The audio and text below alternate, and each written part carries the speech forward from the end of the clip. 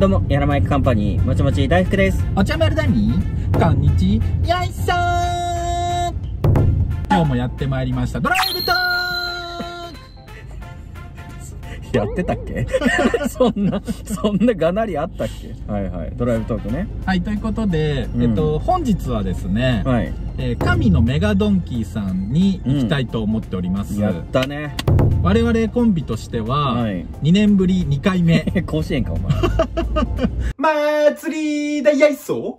うやいそ。うやいそうえー、メガドンキさんね大福君は本当に、はいあの引っ越してきた頃に、うん何往復もしたとはい。何往復でしたっけ？13。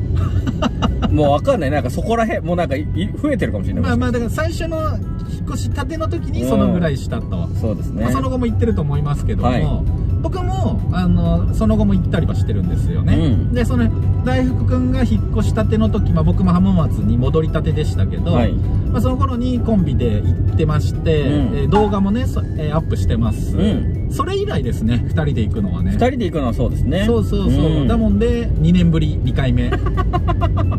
という形でございます、はいさあ今日は、うんまあちょっとその僕らのコンビの方でねはい。ちょっと小道具を探してまして、うんでまあえメガドンキーだったらいろいろあるから、うんまあいいんじゃないかというところで、はい。今日は進んでおります、うん。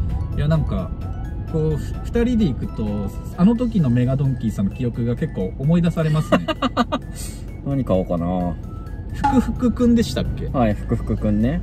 もう福福くんももう2年が経ったというもう、もうちょっとくたくたくんにはなってきてはいますよね、正直ね。あれが本当に俺はあの浜松に来て最初にね鈴木が買ったもの鈴木。あごめんえっとあれが本当に、うん。あの大福くんが、はい。えっと浜松に来て、うん。僕が目の当たりにした最初の買い物があれだったんですよね、はい。まあ、うん。もろもろ生活用品は買ったとは思いますけども。まあ、でかい買い物はあれですね、最初のね。僕がそのコンビとして相方が浜松で買った最初のものは僕の中ではあれなんですよはい。ね、。う福福くん、ん。あれはもうクタクタくんになっちゃう。たくたくんになりつつありますね。やっぱその、うんなんていうの、ソファーというかね、はいヨギボーみたいな代わりに使ってますから、やっぱこの地面、床に置いた瞬間に俺の座ってる形にはもうなりますよね、やっぱり結ね。構大きかったですよあね結構大きいね。そうだよね、うんいやなんか懐かしいな福福くん元気かな？いやそうということでね、うんやってますけども、はい。なんか本当にね最近不思議なんですよ僕はなんでしょう？はい。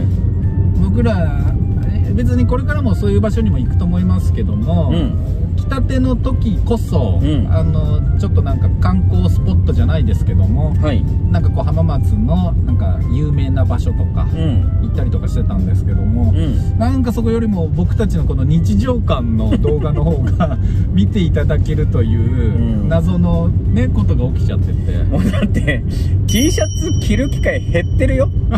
動画ないで。その、一応ね、はい。あの T シャツを着て、ええまあ別に色はどうのこうのですけど、はいはい。あのロゴと顔で覚えてもらおうなんてやってますけど、やってましたけどね。減ったよね、着てる機会。ななんかねドライブトークが増えてきちゃって。うん。そうそうそう。でまたねその時期とかもありますしそう普通の服で映ってるよね、もうね。うんだからなんか浜松にいるその30代の お兄さん2人のうん。動画でなんかちょっと世間話しつつみたいな方がうん。結構見ていただけてるんでなもんで、まあ、今日ももともとこのメガドンキーさんに行くのは決めてたんです。我々としてはね、はい行くことは決まってたんですけど、うん。え多分最初の頃だったらそれは多分わざわざ取らなかったと思います、うん。小道具をちょっと見に行って買うかどうかの話なんて、うん。でももうこれぞまさに今の 今の俺らのヤママイカカンパニーのドライブトークじゃん。じゃああれじゃあ緊急で回してるんですけどじゃあこれじゃあもさあまあということでう、ね、うん、やってますよ本当に。まあまあ僕らのスタイル的にもね、うん。やっぱまあこう意識せずにね、うんうんこう二人でこうゆっくりうんゆったり喋るっていうのがまあ合ってるは合ってるよね、まあまあまあそうなんです。あの狙いを定めた時ほど上滑りするという。いやそんなこともないよ。そんなこともないと思いますけど。まあ相方が言うんだったらそうかもしれないですねじゃうん。ただ2人して同じ地点を目指した時は上滑りする可能性はあ いや同じなんだけどな さあということでね,、はい。ねずっとこの道通ってますけどもね、うん。多分前にもね話したことあると思うんですけども、はい。やっぱこの僕神のメガドンキに行くこの道に関しては、うん。あのキャッツカフェのイメージがねすごくあるんですよね、だからなんか若い頃よく行ったなみたいな,、うんうんうん。なんか友達とキャッツカフェ行こうぜみたいなっていうような道でございます。そう。でもうもうその場所自体はね通り的には過ぎてると思うんだけど、うん。でもこの道沿いにあってっていうところで、うんだったと思うんですけども、うん。うんちょっと記憶ももう曖昧でいつの間にかやっぱなくなっちゃってたんだようんうんね、そうそうそう。っていう感じの思い出があったりとか、うんうんうん。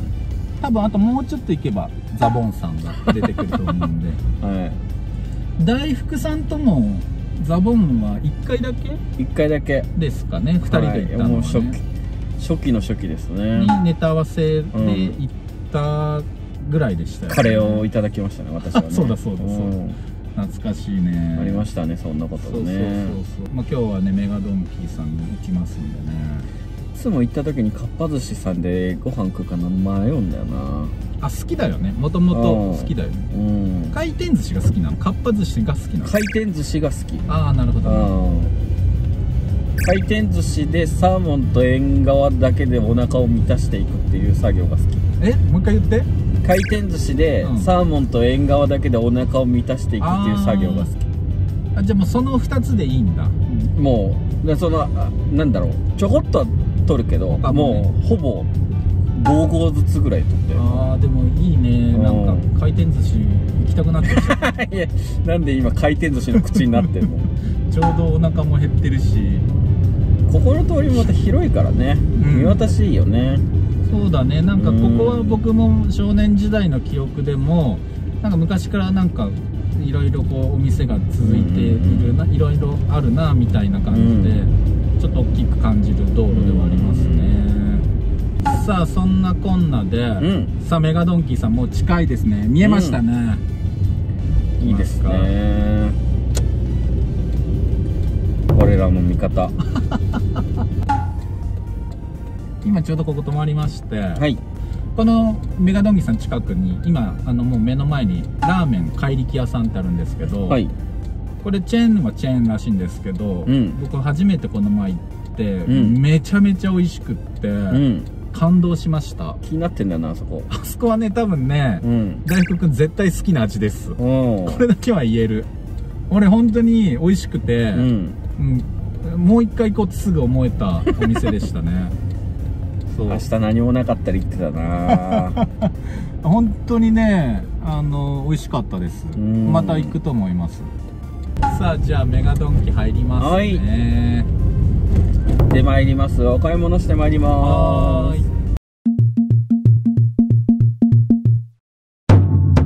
すさあということで、はい。えー無事に、えーでメガドンキに行って まあ日用品も含めてね買いました。なんか日用品の方が僕は多かったです。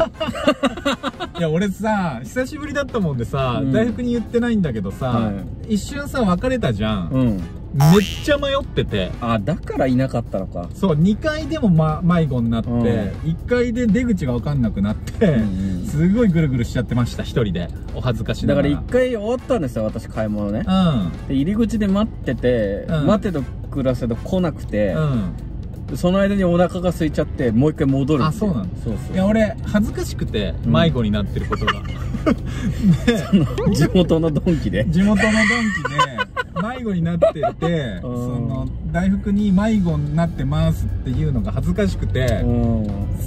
ね今ここの辺にいるって言えば来てくれたと思うんだけど、うん。めちゃめちゃ恥ずかしくて俺自力で出ようって思ったら、ん。どんどんなんか奥行っちゃって、なんとか無事帰還しましたけど。お茶丸さんってやっぱスキルの項目の中に方向音痴が入ってますからね。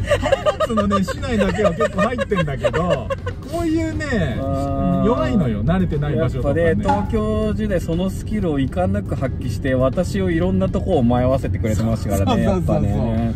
さあということでねもう今神の方なので、うん。まあ、ちょっとこっから僕らはあの僕のね、はい。あの高校時代の友達の、うん。えーサンフィッシュ木野さんのところに行って、はい。えー今日の晩ご飯を買って帰りたいと思います。はということで高評価とチャンネル登録よろしく頼むに以上やらまいかカンパニー。